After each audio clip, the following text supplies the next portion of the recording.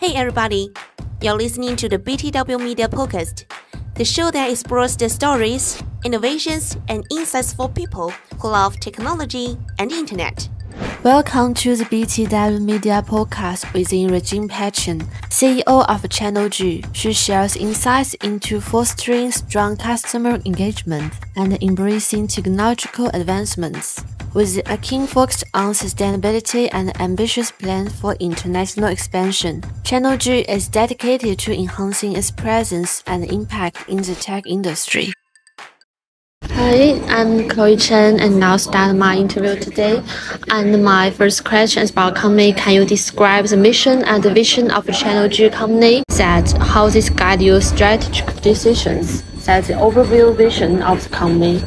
My company goal is uh, we would love to provide the service or make the our services to like to the social like people like can use Yeah. everyone can use my service so our strategy is uh, we will sell in a good price like a fair price to the people we don't Yeah. like charge a lot because we think everyone Um, able to be on the technology or like able to communicate you know use the this service in a good price you know because it's some sometimes it's price expensive not really Yeah. able to use the service I think it's kind of fair if we have a ability to provide the service and people can use Yeah, so like give everyone's opportunity to use and uh, like this kind of software. This is what I want goal. Normally, uh, we, we we sell in a good price, you know, charge a lot. And we just Okay. because we want like a volume. It's when like uh, we want to do like a big sale, like volume. Oh, that's- have connection. So cheap price, but that high volume of sales that should make profit. Yes. Okay. So also I raised question. So what are the key products or key software? What kind of software you are like providing to the market? We can develop like customize. Okay. We, can provide uh, application on mobile device or some ERP software. Yeah. So like to depend on the customer's requirements, you can help. Let's say we Customized. Okay. So we, we have like almost 40 services in our company. We have a lot of services. So Yeah. We, let's say we are just like the restaurant. We cook like the people like you want this menu. Yeah, yeah. So, customize. If you don't okay, like, just like, we have food.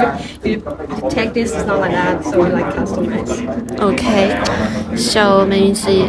So how does the channel G like engage with customer to ensure their needs and expansion are met? How to like meet their requirements? Because like customize, they have different requirements. So if you like reach out to them and also tell you that their requirements. You mean like uh, requirement? Yeah, How, so how we get the requirement? how they're like you better satisfy their needs, the customer needs. Yeah. Uh, let's say that the customer we got, most of the customer we have is from uh, like word of mouth. Like uh, people who know me, like they, oh you like Okay. your service is good, and recommend to friend. And sometimes we have like a networking, like network. So we can like bring people together, and, and they know me, and they recommend oh this company, something like that, and it's Through the networking, yeah, networking, yeah. and uh, most of them like word of mouth. Okay. Okay. So next question is about that. The biggest challenges like you may meet in the industry nowadays. So what challenges you meet to like One challenge. yeah like the business what challenges you might face or anything like this kind of challenges you want to overcome in the future or like regarding the anything like AI technological advancements in the future. So what do you think you may have some challenges? Probably we we like uh, for now we, we kind of start to learn about AI stuff. So Oh, yeah. I think we try to follow the trend. So we, we like uh, follow and study about that, and we try to adapt the new services. Yeah. Make like a new thing like develop from the new trend. So uh, to catch up the trend that make a company like Yes, yeah. like catch the trend and make product and like follow Yeah, that a little bit I because know. you know it's a kind of big market. Is that Yes. trend is kind of big market. Yes, and uh, so next question about that the ESG is very hot topic recent days. So your company have some like sustainability initiative or some practice to like take place about the sustainability. Maybe like some companies may take some net zero carbon or to partnership with some companies like in this area? We try to have like a partner partner with the company have like a green green energy. For now, we try about that. Uh, for example, like cloud data center, we choose like one that have like green energy.